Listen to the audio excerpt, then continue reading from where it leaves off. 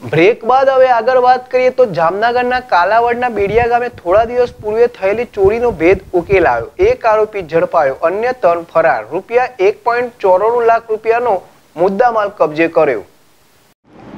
જામનગર જિલ્લાના કાલાવડ તાલુકાના બેડિયા ગામે પચીસ દિવસ પહેલા કોઈ અજાણ્યા ઈસમો રહેણાંક મકાનમાં ત્રાટકી.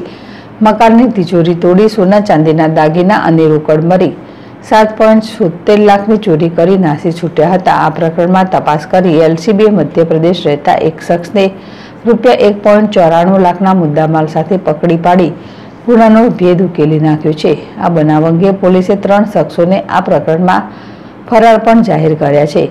જામનગર જિલ્લાના કાલાવડ તાલુકાના બેડિયા ગામે ગત તારીખ ચૌદ ચારના રોજ ભગીરથસિંહ મહિપતસિંહ જાડેજાના રહેણાંક મકાનમાંથી કોઈ અજાણ્યા ઈસમોએ તિજોરી તોડી સોના ચાંદીના દાગીના અને રોકડ મળી. રૂપિયા સાત પોઈન્ટ છોતેર લાખની ચોરી કરી હતી, જે અંગેના ગુનો કાલાવડ પોલીસ સ્ટેશનમાં નોંધાયો હતો. આ ગુના અંગે એલસીબીના દોલતસિંહ જાડેજા, હિતેન્દ્રસિંહ જાડેજા અને ફિરોજ ખફીને બાતમી મળી હતી કે આ ચોરીમાં સંડોવાયેલો શખ્સ મુકેશ સગનભાઈ અલાવા રહે મધ્યપ્રદેશવાળા. ચાંદી બજારમાં દાગીના વેચવાની પેરવી કરી રહ્યો છે. જે પરથી પોલીસે તેને દબોચી લઈ તેની પાસેથી સોનાની ચેન લક્કી વીંટી, ચાંદીના સાંકળા, રોકડ મોબાઈલ વગેરે મળી. રૂપિયા એક લાખ ચોરાણું હજાર પાંચસોનો મુદ્દામાલ કબજે કરી અટક કરી હતી પોલીસની પ્રાથમિક પૂછપરછમાં તેની સાથે ચોરીમાં સુકાર રાયસેન મકવાણા અને ભૂરા મકવાણા તથા એક અજાણ્યો શખ્સ સંડોવાયેલો હોય. પોલીસને ત્રણેયને ફરાર જાહેર કરી શોધખોળ હાથ ધરી છે. કરસલ કંદેડિયા જેડેશ ટીવી જામનગર.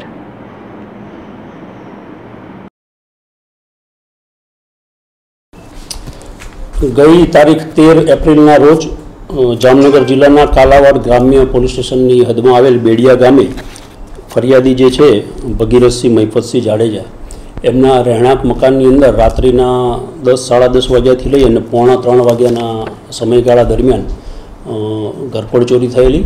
અને જેની અંદર તેમના જે ઘરની અંદર કબાટ હતા, એ તોડી અને એમાંથી અંદાજે ત્રીસ તોલા જેટલા સોના ચાંદીના દાગીના, કિંમત રૂપિયા સાત લાખ છોતેર હજારની ચોરી થયેલી.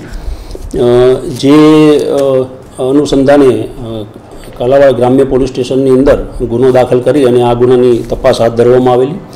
જેમાં જિલ્લાની એલસીબી ટીમ અને કાલાવાડ ગ્રામ્ય લોકલ પોલીસ ગુનો શોધી કાઢવા માટે પ્રયત્નશીલ હતી.